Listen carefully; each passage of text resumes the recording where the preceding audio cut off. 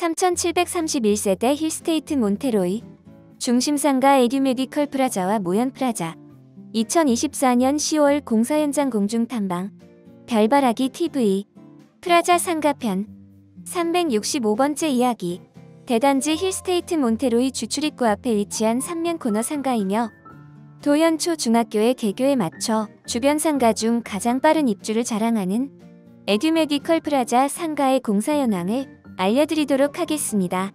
현재 에듀메디컬 프라자는 지하 터파기와 흙막이를 모두 완료하였고 지하 1층에 매트를 깔기 전 철근으로 바닥을 엮는 작업을 하고 있습니다. 작업 속도가 정말 빠릅니다.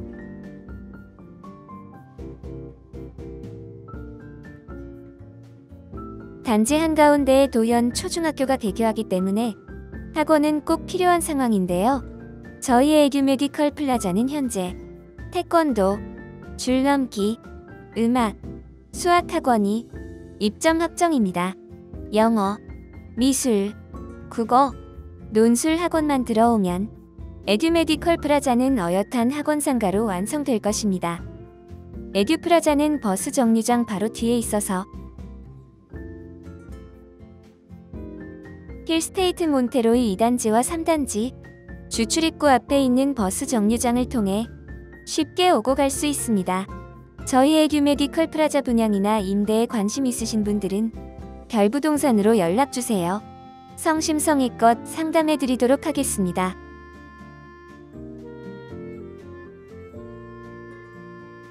다음으로 볼 공사 현장은 주차 모현 프라자입니다. 주차 모현 프라자는 타 상가와 다르게 경사 없는 평평한 평지에 건축되고 있기 때문에 단차가 없어서 30평 이상 큰 점포가 입점할 수 있는 유일한 상가입니다. 또한 45번 국도면에 접해 있으며 45번 국도 방면 버스 정류장도 주차 모현 프라자 바로 앞에 있습니다. 공사 현황을 보시면 지하 물탱크실 공정이 한창 진행 중인데요. 물탱크실 작업이 끝나게 되면 1층부터 매트를 까는 작업이 시작될 예정입니다.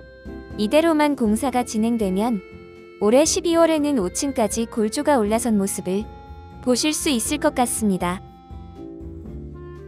주차 모현 프라자 1층 후면부에는 먹거리 골목을 형성하여 각종 먹거리를 주변 입주민, 거주민들이 편하게 접할 수 있도록 할 예정입니다. 치킨이나 족발은 대한민국 사람이라면 빼놓을 수가 없겠죠? 저희 주차 모현 프라자 또는 에듀메디컬 프라자에 관심이 있으신 분들은 별부동산으로 연락하시거나 방문해주세요. 실투자금 1억 원대로 건물주 만들어 드리겠습니다. 시청해주셔서 감사합니다. 좋아요와 구독도 꼭 부탁드립니다.